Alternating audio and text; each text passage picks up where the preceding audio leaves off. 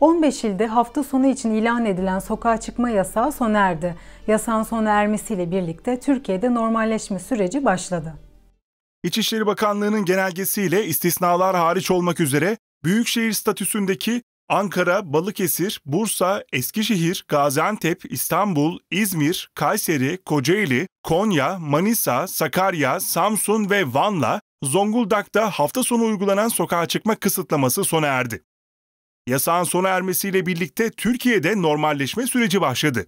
Ayrıca söz konusu illere bir süredir uygulanan şehir giriş çıkış kısıtlaması da 1 Haziran itibarıyla son buldu. Genelge kapsamında vatandaşlar şehirler arası seyahatlerini belirlenen kurallar çerçevesinde gerçekleştirebilecek. İşte yeni normalleşme süreci kapsamında kalkacak olan kısıtlama ve yasaklar. 14 büyük şehirle Zonguldak'ta uygulanan seyahat yasağı sona erdi. Lokanta, restoran, kafe, pastane, kıraathane, kahvehane, çay bahçesi, dernek lokalleri, iskambil, okey, tavla oyunları ve nargile satışlarıyla doğrudan temasa neden olacak şekilde dans ve oyun amacıyla yapılan canlı müzik faaliyetleri hariç olmak üzere açıldı. Kreşler faaliyete başladı. Kamuda esnek çalışma bitti. Sürücü, yabancı dil, bilgisayar kursları gibi kurslar kapılarını açtı.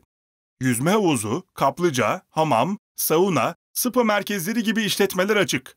Park ve bahçeler, piknik alanları, mesire ve öğren yerleriyle sahillerde, plajlarda, piknik, spor, yürüyüş, gezi, balık tutma serbest. Giyim pazarları, sosyete pazarı kuruluyor. Milli saraylara bağlı müzeler 75 gün sonra bugün yeniden ziyaretçileriyle buluşuyor. Havayolu şirketleri iç hat seferlerine başladı. 65 yaş ve üzeri vatandaşların seyahat izin belgeleri almaları ve gidecekleri illerden en az bir ay boyunca dönmemek şartıyla tek yönlü olarak seyahat edebilmeleri uygulamasına devam edilecek. Sokağa çıkma kısıtlaması devam eden 18 yaş ve altı çocuklar, yanlarında veli vasisinin bulunması şartıyla seyahat izin belgesi almadan şehir içi ve şehirler arası yolculuk yapabilecek.